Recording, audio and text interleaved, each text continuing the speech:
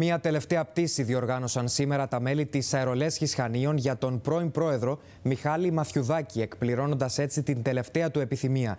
Το αεροπλάνο που πέταξε πάνω από τη γενέτειρά του, τον Φουρφουρά Αμαρίου, μετέφερε τις τάχτες του εκλειπώντα και αν και δεν ήταν εφικτό να διασκορπιστούν πάνω από το χωριό όπως είχε ζητήσει, οι συνάδελφοί του απέτησαν έτσι τον ίστατο φόρο τιμής με μια βόλτα στους εθέρες. Το αεροπλάνο που βλέπετε να πετάει πάνω από τον Φουρφουρά Αμαρίου έχει μια ιδιαίτερη αποστολή.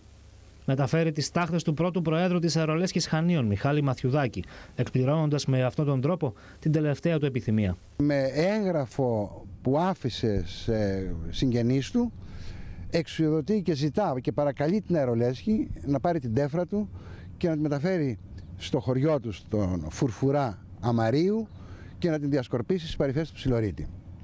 Σήμερα κάνουμε αυτή την πτήση. Θα πετάξουμε με το αεροπλάνο, θα πάμε στο χωριό αυτό, στο Φουρφουρά.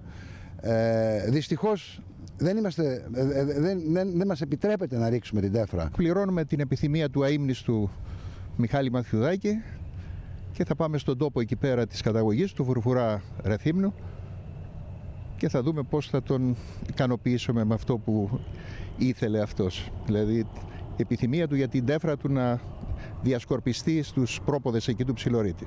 Ο Εκλειπών υπήρξε εκτός από πρόεδρος της Αερολέσχης και αερολιμενάρχης Χανίων.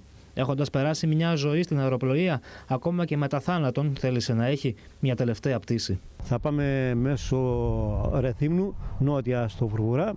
Εκεί, αφού θα δούμε και τις καιρικές συνθήκες, πώς θα είναι, θα κατέβουμε ανάλογα, σύμφωνα με το επιτρεπόμενο ύψος. Θα κάνουμε ε, μία διέλευση και θα επιστρέψουμε ξανά στη Σούδα, στο αεροδρόμιο που βρισκόμαστε και μετά όπως είπε και ο κύριος Μπουζάκης θα πάμε με όχημα για να κάνουμε το επόμενο βήμα. Ιδιαίτερα ενδιαφέρον είναι ότι ο Εκλειπών ακόμα και πριν το μοιραίο σαν να προετοίμαζε τους συναδέλφους τους γι' αυτό.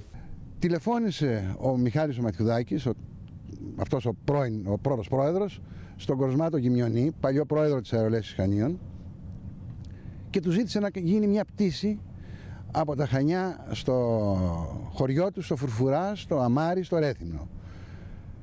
Του το ξαναζήτησε αυτό.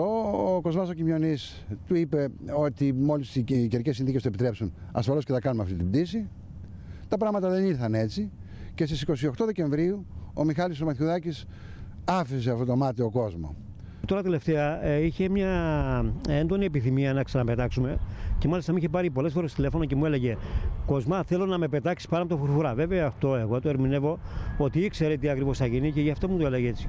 Όταν λοιπόν ε, πήρα ένα τηλεφώνημα πριν ε, περίπου καμία εικοσαριά μέρες ότι η τελευταία του επιθυμία είναι να πετάξουμε τη στάχτη του πάνω από το χωριό του, κατάλαβα ότι αυτή του η επικοινωνία μαζί μου είχε σαν σκοπό να γίνει η τελευταία του πτήση πάνω από το χωριό. Εν τέλει, έτσι και έγινε.